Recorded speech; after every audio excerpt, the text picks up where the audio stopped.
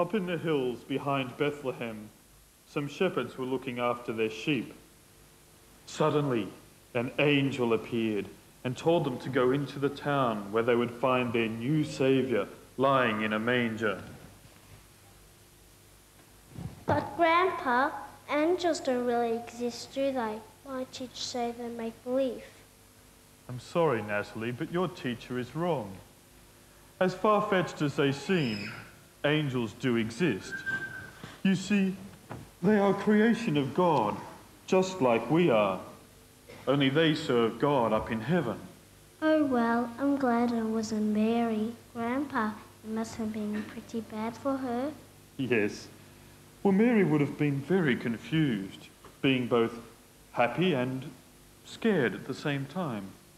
She remembered the visit from the angels who had told her that she would give birth to the Son of God, and he would live forever, and his kingdom would never end.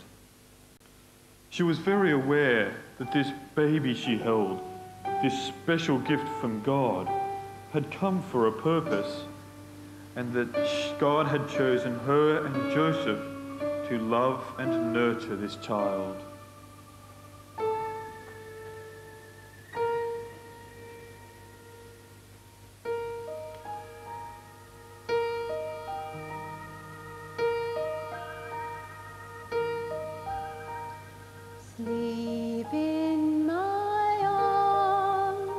Precious child of the star.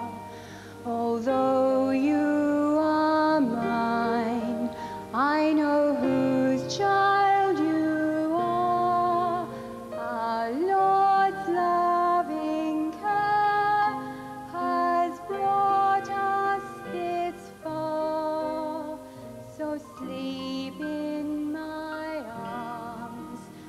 precious child of the star.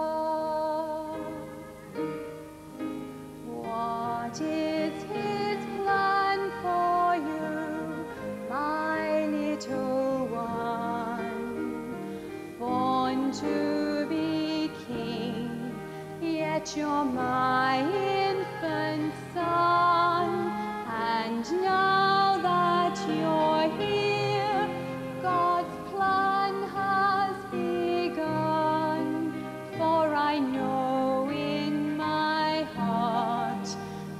Messiah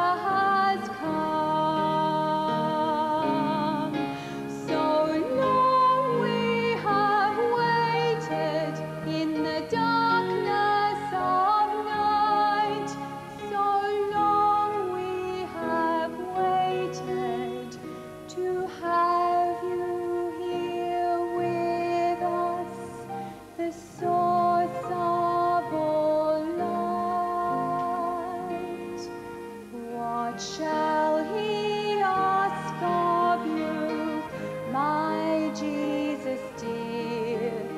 I feel so